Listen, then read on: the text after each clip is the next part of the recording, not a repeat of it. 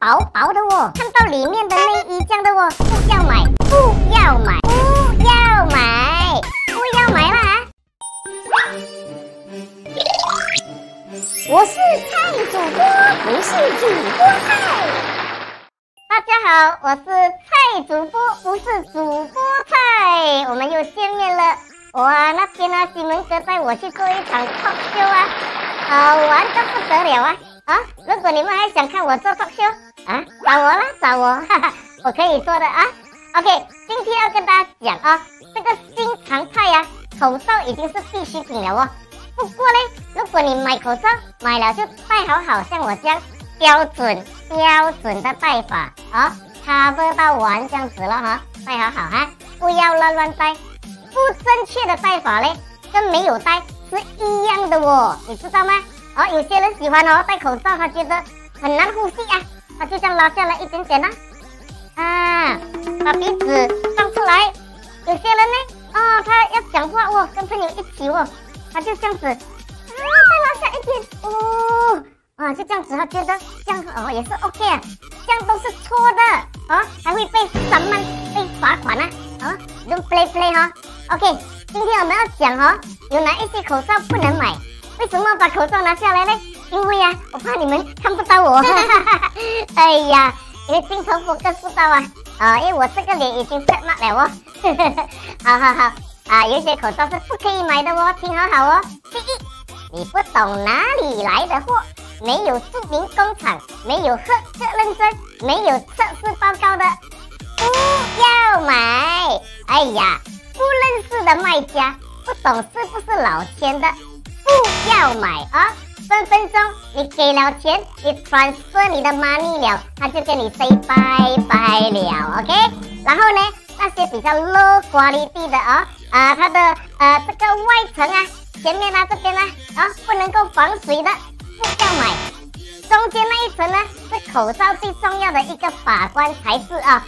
中间那一层呢，好的材质叫做熔层布，它的成本是相当高的。如果呢有偷工减料的话呢，哦，它是没有静电过滤功能的。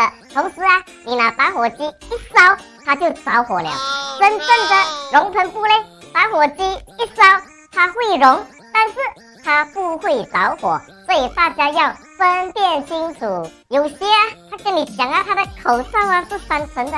可是薄薄的哦，薄到你摸看，薄到不行的哦，好像人家穿衣服啊，透视这样啊，你会看到里面的内衣这样的哦，这种记得了啊，不要买了啊，OK，然后呢跟大家讲啊，标准的口罩呢必须能够有效的阻隔飞沫、花粉、微生物等颗粒物的传播，民用口罩标准 BFP ninety five percent。医用口罩的标准 BFE ninety nine percent。总之啊，那那那那口罩不要买就对了了啊！要有效防护，除了要买有认证、有品质的口罩之外，也要正确佩戴，不然买来什么，买什么戴好好，好好戴，好不好？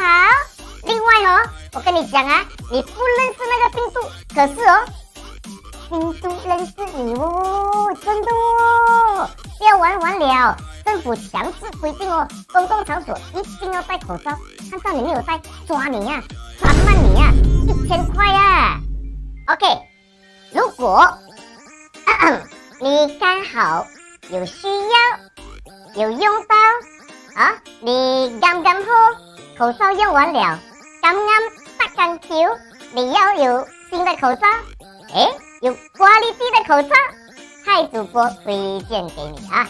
在马来西亚新山呢，我们有一家口罩工厂啊，啊，它是有来证、有认证、有 test report 的啊，世界厂家滞销限量两万盒的口罩，民用的口罩就是 BFE 九十五 percent 的民用口罩，限量两万盒，厂家滞销价，先到先得，卖完为止。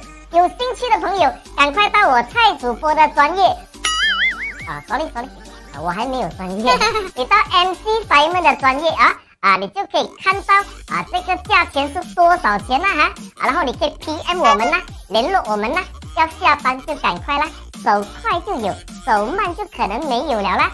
啊，记得要买口罩可以找蔡主播，要主播菜不要找我啊，我们下一次再见啦，拜拜。